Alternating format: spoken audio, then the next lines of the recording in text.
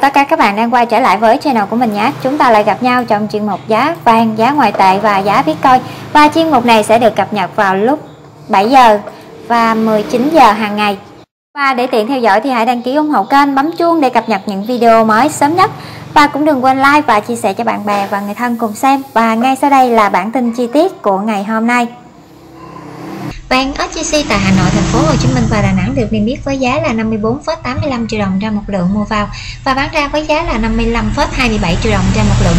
Vàng IGC được niêm yết với giá là 54,85 triệu đồng trên một lượng mua vào và bán ra với giá là 55,25 triệu đồng trên một lượng. Vàng Doji được niêm yết với giá là 54,8 triệu đồng trên một lượng mua vào và bán ra với giá là 55,2 triệu đồng trên một lượng.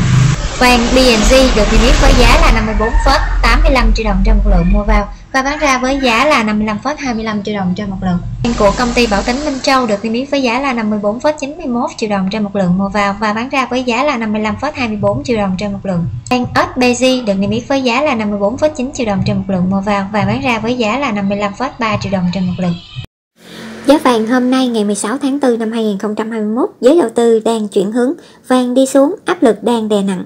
Sau phiên tăng nhanh từ đáy, giá vàng hôm nay đã quay đầu sụt giảm khi chứng kiến đà tăng kỷ lục trên thị trường chứng khoán toàn cầu.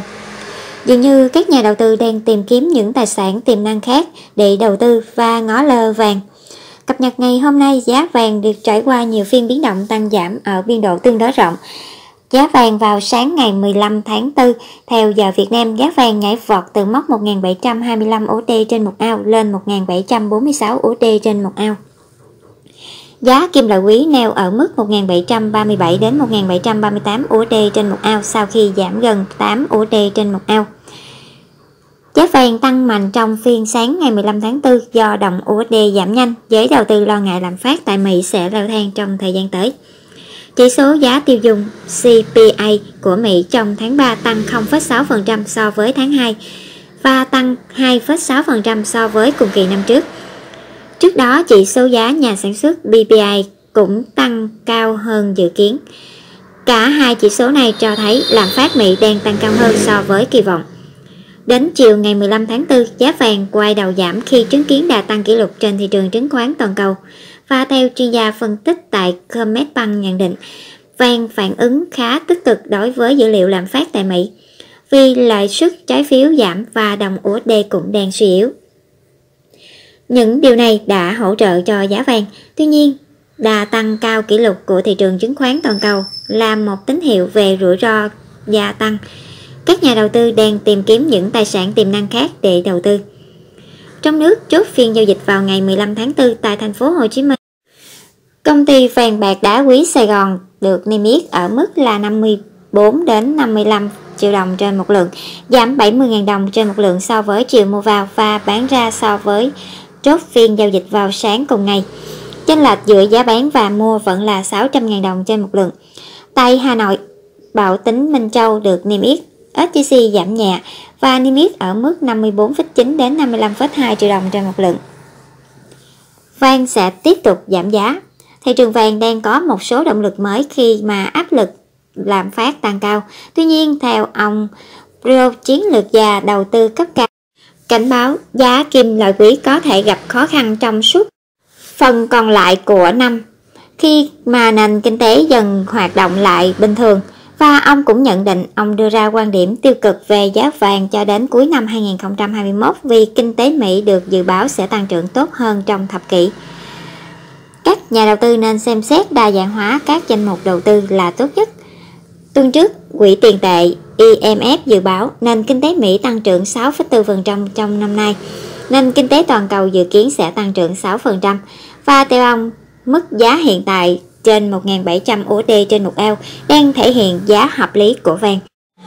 Đồng thời hy vọng sẽ thấy giá kim loại thấp hơn trong dài hạn, nhưng vẫn còn nhiều điều không chắc chắn xung quanh tác động lâu dài của đại dịch Covid-19 sẽ gây ra đối với nền kinh tế giúp vàng ổn định trên mốc 1.700 USD trên một ao. Tuy nhiên, theo ông nói rằng, ông đang tập trung nhiều hơn vào tiềm năng giá vàng đi xuống do hoạt động kinh tế trở lại bình thường. và ông cũng đánh giá vẫn còn rất nhiều việc cần phải làm trước khi nền kinh tế phục hồi hoàn toàn. Rủi ro lớn là tăng trưởng kinh tế mạnh mẽ, lạm phát sẽ gia tăng, buộc Cục Dự trữ Liên bang Mỹ phát phải thắt chặt chính sách tiền tệ sớm hơn dự kiến. Thay vì nhìn vào vàng, ông cho rằng công ty của ông đang chuẩn bị bất động sản và quỹ đầu tư bất động sản khác để cân bằng rủi ro trong danh mục đầu tư của mình và Ông cũng cho biết là đang tập trung dựa vào các loại tài sản có dòng tiền khác nhau vì những đặc điểm phòng thủ đó trong danh mục đầu tư của mình và ông cũng đang cố gắng thu lợi nhuận ở bất cứ nơi nào có thể. Tuy nhiên, đối với các nhà đầu tư đang muốn tiếp xúc với hàng hóa, chuyên gia cũng cho biết ông sẽ xem xét các sản xuất hàng hóa kim loại cơ bản. Năm nay, các loại kim loại như đồng, nhôm, thiết đã tăng lên mức cao nhất trong nhiều năm. Và ông cũng nhấn mạnh chúng tôi nghĩ rằng các nhà sản xuất hàng hóa vẫn ổn trong môi trường này bởi vì với câu chuyện mở cửa trở lại có xu hướng tăng lên đối với hàng hóa, đó là đều sẽ có lợi cho các nhà sản xuất và dòng tiền. Và đến đây, bản tin xin được khép lại. Hẹn gặp lại các bạn ở bản tin tiếp theo. Và để tiện theo dõi thì hãy đăng ký ủng hộ kênh, bấm chuông để cập nhật thêm những video mới sớm nhất.